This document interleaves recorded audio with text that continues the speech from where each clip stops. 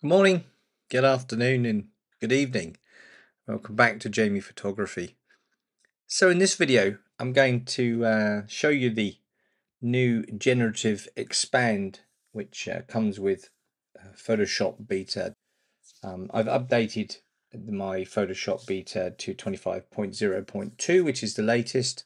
Um, so you'll be able to see what can be what can be done with generative expand. Now, generative expand is really just uh, the generative fill, um, but it's made a little bit easier by being able to use the crop tool to make images larger in any direction.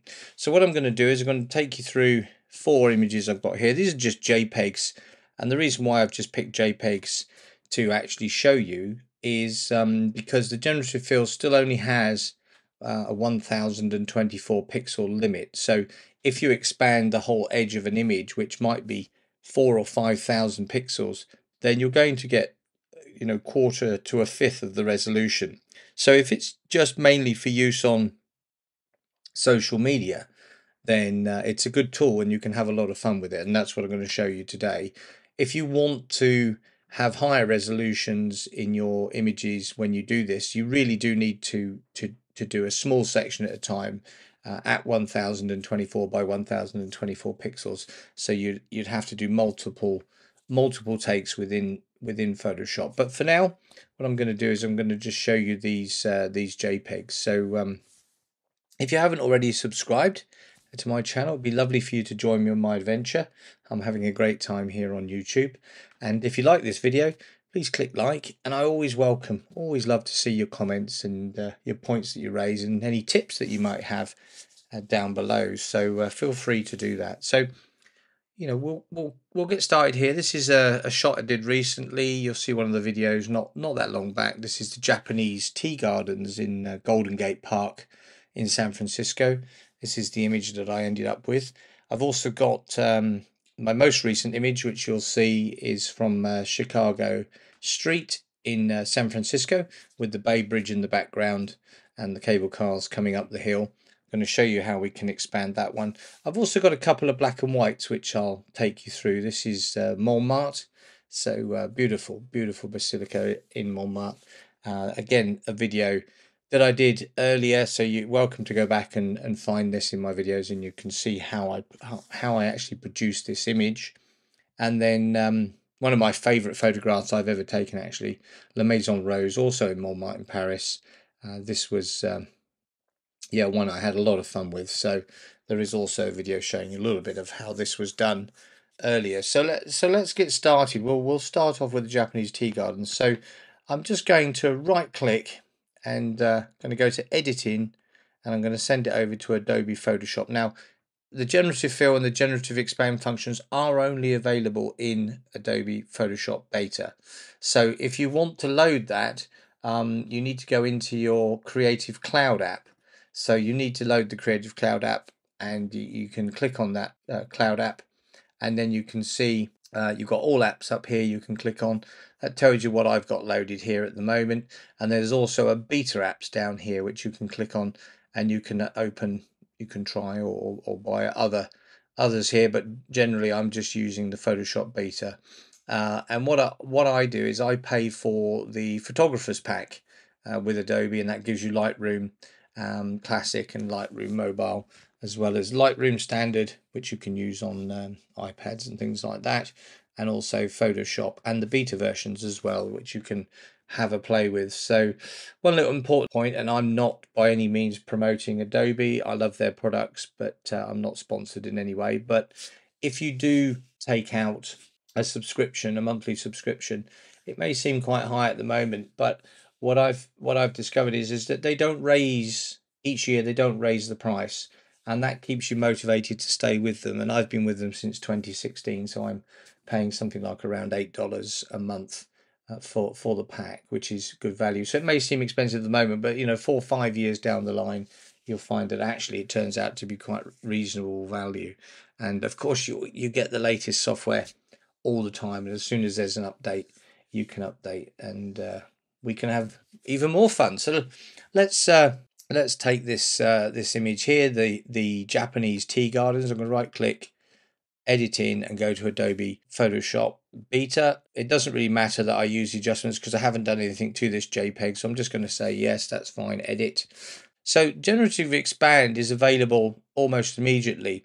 We know that we have the generative fill where we take maybe a lasso tool and then we will go around something in the shot and then it'll ask us if we want a generative fill and we can click that and uh, it will it will remove the the item or we can click on it and then ask to put something else in its place. So you know we could we could put in a boat there uh, click generate and uh, it, it it will generate it will send the information off to Adobe via the internet which is what it's doing. Its servers will work out what's needed send the information back and then pop it in your your image that you've got. So there you go. There's a boat.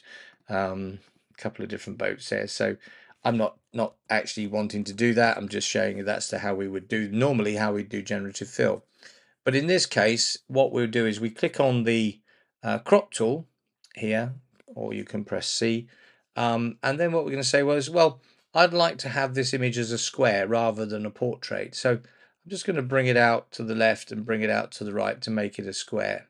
There we go. A little bit more on this side. And once, once you've got the shape that you want, you can just click generate and uh, it, it will fill those gaps for you. So as I said earlier, you, you have to consider the resolution. So for social media, it works very, very well because you don't need an awful lot of resolution if you're sharing on things like Facebook and Instagram.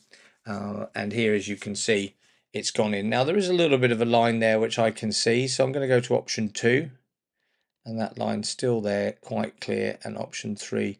So in this case, it's not done a particularly good job there. It's, it's left a line in there. So let's ask it to generate again and to see what it can come up with. So um, so this is, as I say, the latest version. So you tend to get tips in there all the time. Now this one looks a little bit better this time. That looks definitely looks better. Um, let's have a look at the. Uh, you can see that line again there. Um, that one's not so bad. And we're back to the first three that we looked at, which weren't so good. So uh, I actually think that one's not bad at all.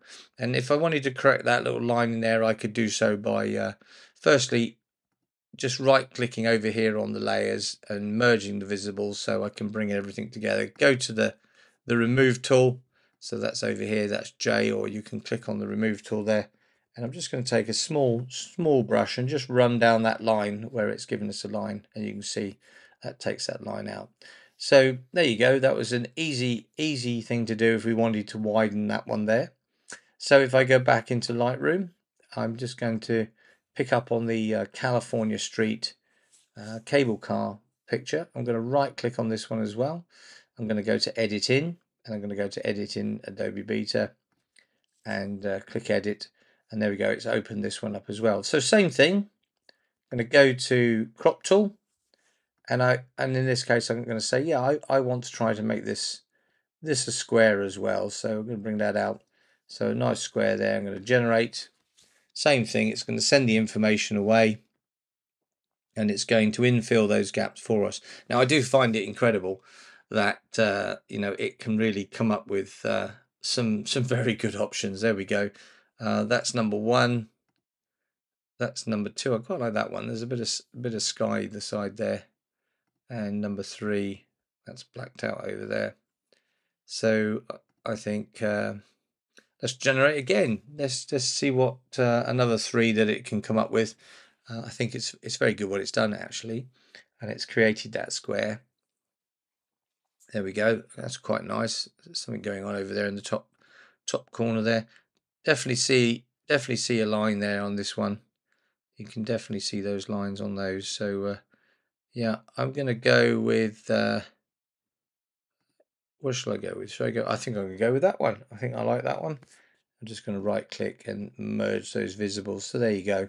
We've got ourselves a square now of that image and it's basically just extended that road and the buildings without too much too much issue. So let's jump back into uh, Lightroom. Let's have a look at black and white. You know, how, how does it deal with black and white? So let's have a look at this uh, Basilica shot from, uh, from Montmartre in Paris. Um, it's a beautiful place, really is a lovely place. And this is one of my more favourite photographs that uh, I managed to produce. And you can see the video um, further back into my uh, my my library. Uh, have a look, see if you can find it, and um, talk a little bit about how we use black and white. So I'm going to right click here, edit in, Adobe Photoshop Beta, edit, same thing. So, you know, let's let's do the same thing here. Let's let's let's make this into a square. See, uh, it's about there. It's a little bit big that side. There we go. So generate, and we're going to see what it can do with black and white. And it's extremely clever because it is able to uh, it is it is able to to see that it's a different type of image, black and white image, and um, yeah, you can again. There's just a slight line that you can see there, but we'll we'll go to option two. It's quite nice, but there is a line there. This side come out reasonably well. Okay, there we go. So it has got something over here. I'm just going to use the remove tool just to clear that up over here and uh, maybe this brush is also a little bit distracting so just take that out there there we go so that that's turned out quite well. It's uh, extended it over. But perhaps this time we also want to maybe put a little bit more sky in the top here. So back to the crop tool. And uh, we're just going to raise that up just a little bit and we'll click we'll click generate. And uh, hopefully it can uh, calculate the extension of the sky into that space. Let's see what it comes up with. It's incredibly clever what, what, what we can do these days. So uh, let's have a look there. So that, that's option one. That's option two. That's pretty good. Option three. I think option two is the best. Just going to right click over here on layers and merge merge visibles so they're all together. And I just maybe want to take the remove tool and just run along the joint line just to to blend them together. The remove tool is very good at blending where you have a, a, a, line showing. So just just blend that in and um, yeah, that works works quite well. And the last one we had, let's go back into Lightroom. Let's go over to uh, La Maison Rose. Here we go. So we've got a square image at the moment. Maybe we want to turn this into a bit more of a sort of uh, landscape image. So I'm going to right click, edit in, send it over to Photoshop Beta. We'll send it over there and we'll click on the crop tool and we'll just come back a little bit this way and we'll come back a little bit this way and uh, we'll click generate. So you can you can extend the crop in any direction. You can do all four sides at the same time if you want to. Um, it, it, it's, it's very clever at what it does. So that's option one. That's option two. Unfortunately, you can see that line there. Option three, line still showing a little bit. So option one looks to be the better one. Again, we would probably need to just use the, um, the remove tool just to tidy up, just to tidy these areas. So I'm going to right click over here, merge visible, and then I could use the um, could use the remove tool in there. Look, just to tidy up that space there. You can see that line, so we'll just run down that line there and that gets rid of the line. Don't know what this little block is that's added on the edge, but we can remove that using the remove tool. There we go. And um, just some things on the edge. Don't know what's in the sky there, so we'll we'll take that out as well. That works quite well. Over this side, just run along that line.